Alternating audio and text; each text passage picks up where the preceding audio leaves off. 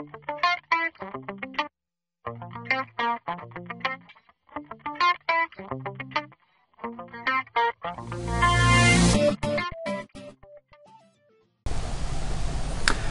and welcome to another lesson in Oracle Applications.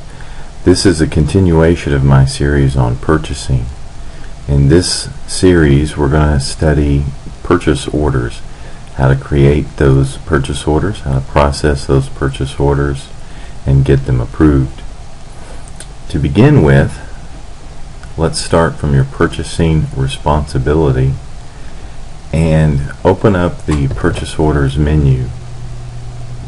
From this menu, we could go directly to purchase orders, open the form, and fill in the information. This is very similar to what we've seen in the requisitions form. You fill in the header information regarding the supplier, you fill in the lines information regarding the material you want to purchase.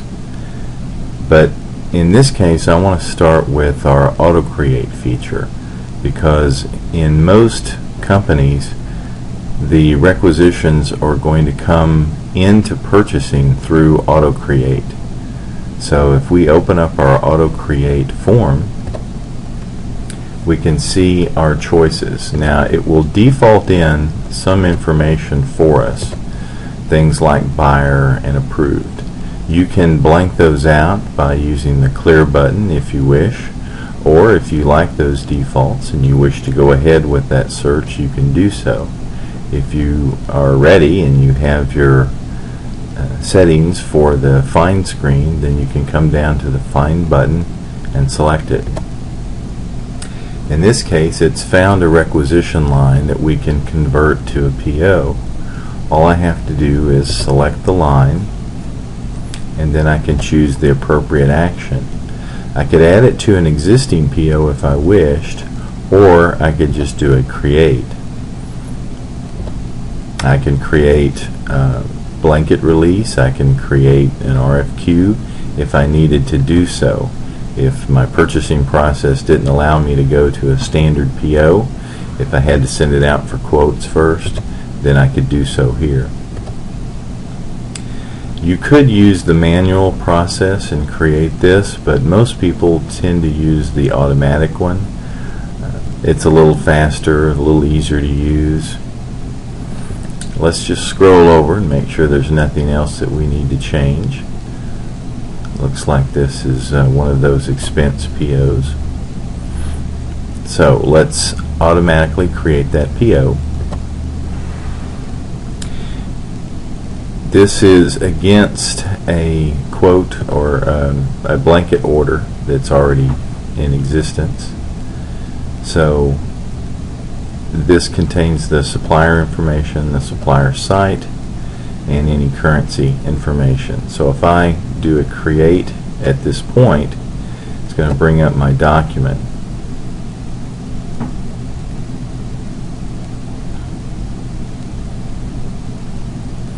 And that takes just a few seconds to run typically.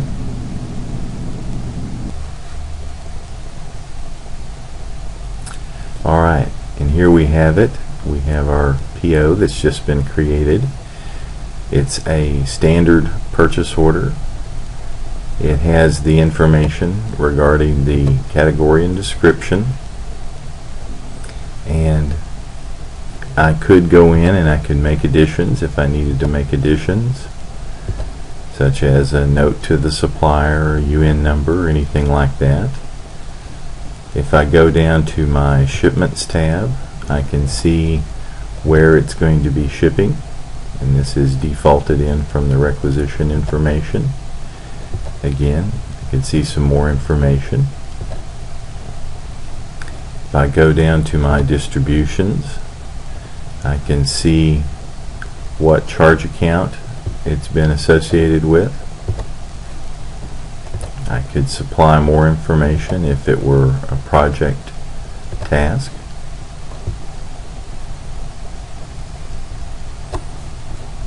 I can go back, I can set my receiving controls on this particular PO if I needed to do so. If I wanted to change from say a direct delivery to an inspection required, I could do so here.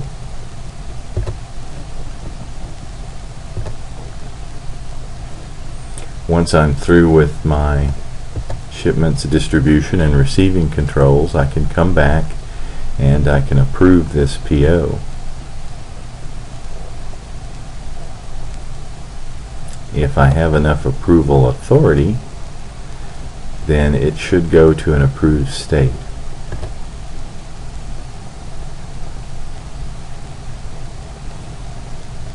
And we see that it has indeed gone to an approved state. So at this point, this material would be eligible for receipt once the material comes to your receiving dock. And that concludes the process on the auto creation of a purchase order. There will be more videos to follow. Thank you for watching.